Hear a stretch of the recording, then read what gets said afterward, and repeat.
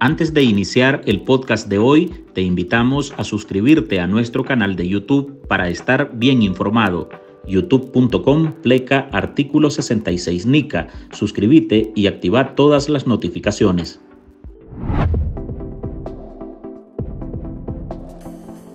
La escalada represiva dictada por la pareja presidencial de Nicaragua contra opositores y religiosos ha incrementado drásticamente esta semana.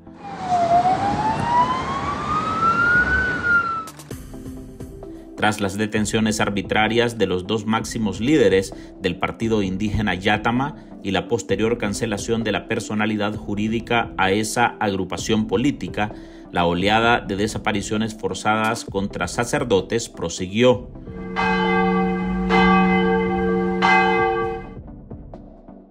La Iglesia, que se está constituyendo en una de las principales víctimas de la represión del matrimonio dictatorial, ha elevado un SOS porque las parroquias se están quedando sin religiosos. Perdemos dos, nos regresan uno. Y también pido al Señor, por supuesto, por esas parroquias que están sin sacerdotes. El jueves, el sacerdote Álvaro Toledo quien denunció en la Misa del Santísimo la situación de violencia que padece la iglesia, fue secuestrado esa misma noche de la casa cural de la parroquia La Asunción en Ocotal. Ante la noticia de los padres Iván Centeno y padre Julio Norori, decirles que están bien en el seminario,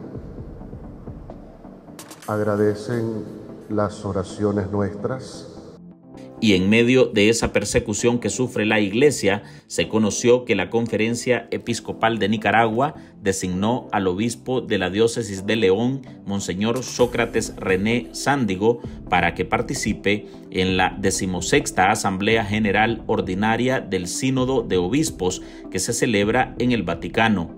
El Vangelo que habíamos ascoltato è preceduto dal racconto di un momento difficile de la misión de Jesús. Esa decisión, según religiosos y críticos, puede responder a que la cercanía del obispo enviado con el régimen Ortega Murillo podría garantizarle un retorno seguro al país sin impedimentos migratorios, a como ha sucedido con otros católicos. Sin embargo, dicen estar seguros que Sándigo no se atreverá ni a mencionar la represión que viven los religiosos en el país, sobre todo por su cercanía con los dictadores nicaragüenses.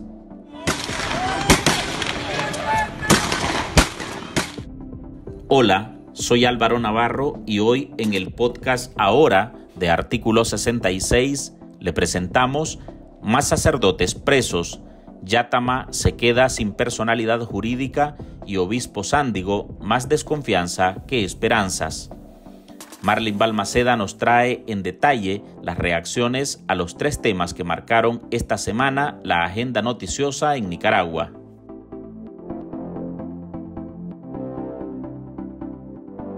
El fin de semana que marcaba el inicio de octubre empezaba con la detención de los dos principales líderes de Yatama, Brooklyn Rivera y Nancy Enríquez, diputados propietario y suplente respectivamente de la Agrupación Política Regional del Caribe de Nicaragua.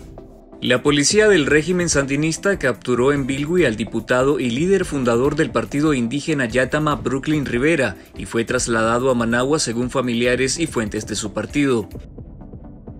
La dirigencia de Yatama alertó que esos encarcelamientos eran el preludio de peores cosas que vendrían contra su partido, contra las comunidades indígenas y contra sus líderes, y no se equivocaron.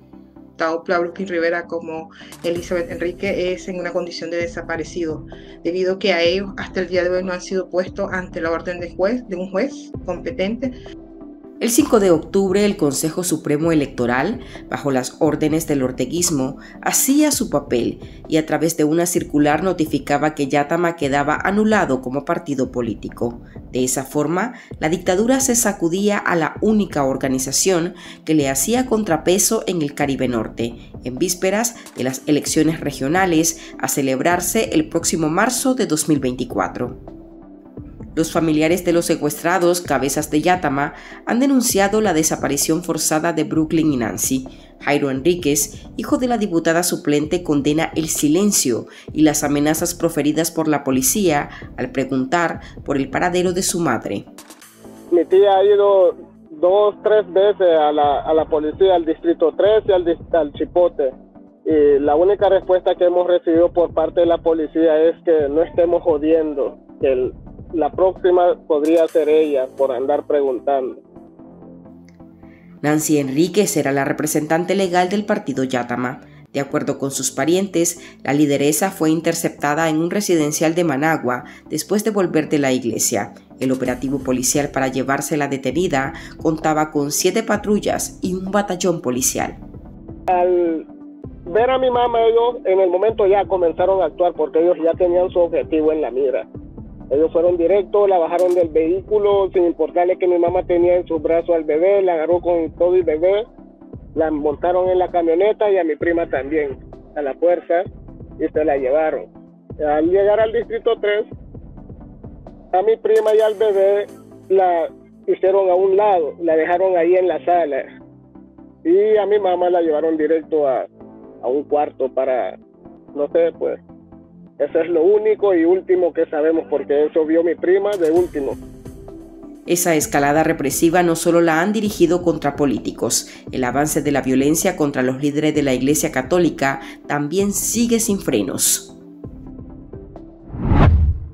En artículo 66, un equipo de periodistas hemos asumido el desafío de seguir informando sobre Nicaragua pese a la persecución, las amenazas, el exilio y el bloqueo impuesto contra la prensa libre. Mantener esta trinchera en defensa de las libertades públicas de todos los nicaragüenses es un compromiso que hemos asumido porque Nicaragua nos necesita. El desafío de financiar el periodismo que hacemos sigue vigente y siempre podés ayudarnos con una donación para garantizar la sostenibilidad de nuestra cobertura noticiosa, de las investigaciones que realizamos o la producción de este podcast.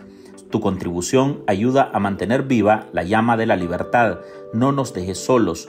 Unite a nuestro programa en artículo66.com pleca donar y contribuí con lo que te sea posible. Toda ayuda, sin importar el monto, es infinitamente vital para nosotros. Recordá artículo66.com pleca donar. Muchas gracias. Esta semana se reportó la desaparición forzada de cuatro sacerdotes, incluido Álvaro Toledo, párroco de la iglesia La Asunción en Ocotal. El religioso fue apresado horas después que notificara en la Eucaristía del jueves de Santísimo sobre la condición de los padres Iván Centeno y Julio Norori, capturados el fin de semana. Con mucho dolor y tristeza, dos hermanos sacerdotes fuera de sus servicios, el padre Iván Centeno, hermanazo, el padre Julio Norori de Ocotal, dos parroquias sin sacerdotes. Pedimos al Señor para que les conceda su bendición. Nuestra diócesis se está quedando sin sacerdotes, no tenemos sacerdotes. El sacerdote Toledo igualmente anunció que el padre Leonardo Guevara Gutiérrez, vicario de la diócesis de Estelí y exdirector de la ilegalizada Caritas de Nicaragua, fue liberado la noche del jueves 5 de octubre. Guevara estaba bajo arresto domiciliario con seminario por cárcel, bajo investigación policial por el supuesto lavado de dinero que el régimen intenta imputarle a la Iglesia Católica. Sin sacerdotes un pueblo espiritualmente está muerto. Que Dios tenga misericordia de Nicaragua y que lo bendiga siempre. La defensora de derechos humanos Aide Castillo condena este acoso contra la Iglesia y afirma que la estrategia del caudillo sandinista es el poder o la muerte. Ante este hostigamiento desmedido, la exiliada política solicita a la Organización de Naciones Unidas la designación de una misión internacional que proteja a Nicaragua. El padre Álvaro Toledo ha sido eh, secuestrado, sacado de la parroquia Nuestra Señora la Asunción en mi pueblo Ocotal eh, posterior a que él eh, prácticamente en su homilía denunció que dos hermanos sacerdotes habían sido también eh, sacados y que la diócesis estaba quedando prácticamente sin sacerdote. Él dijo, ya no sabemos, en cualquier momento nos puede tocar y prácticamente lo que pidió es que hubiera misericordia para Nicaragua. Es insólito, son actos que yo creo que la comunidad internacional debe tomar con muchísima preocupación, seriedad y eh, poner su atención en Nicaragua. Ya está claro que los llamamientos, las exhortaciones, las invitaciones a un régimen que actúa criminalmente eh, no le llegan, sirven de muy poco. Y el pueblo de Nicaragua está quedando en una situación en que han arrasado ya con todititos los liderazgos parte por parte, primero con las juventudes y los estudiantes, con las mujeres, con los defensores de derechos humanos, los pueblos indígenas, la iglesia, o sea, ¿qué es lo que está quedando en Nicaragua? Es urgente porque también la crisis se está regionalizando y podemos estar ante un retorno a una crisis eh, social, política de derechos humanos, ya no solo en Nicaragua, sino también en la región. El informe Nicaragua, una iglesia perseguida que comprende de abril de 2018 a agosto de 2023, detalla que la institución religiosa ha sido víctima de 667 ataques, entre estos encarcelamientos arbitrarios.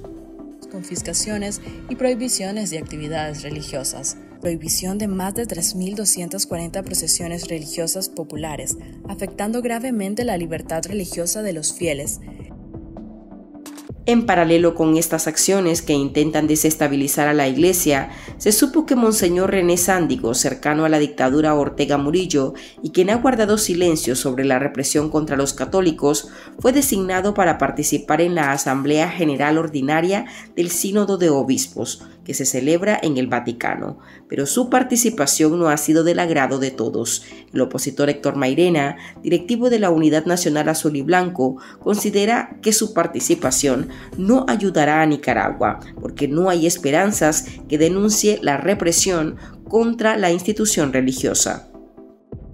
La conferencia episcopal habrá tenido sus razones eh, para delegar en el obispo Sócrates Sandino la representación sin embargo, hay que decir que eh, no esperemos que el obispo Sócrates Sándigo Sandino eh, vaya a ser una voz que transmita ante sus colegas de, eh, del sínodo que se realizará en Roma la situación que se vive en Nicaragua y particularmente el encarcelamiento que sufre el obispo Álvarez. Eh, y no lo vamos, no lo esperamos porque él, como se conoce, ha sido un aliado del régimen de los Ortega Murillo.